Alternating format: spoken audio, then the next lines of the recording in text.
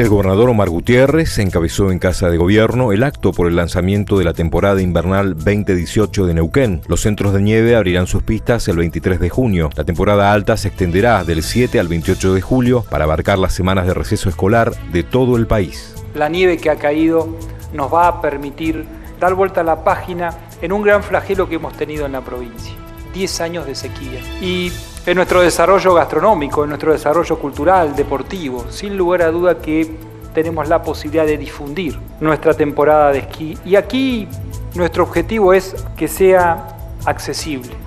Felicitaciones por incorporar en un acto de estricta justicia social e igualdad de oportunidades estas sillas que permiten que las personas con discapacidad tengan los mismos derechos, las mismas posibilidades y las mismas oportunidades. Felicitaciones y que tengamos todos una gran temporada.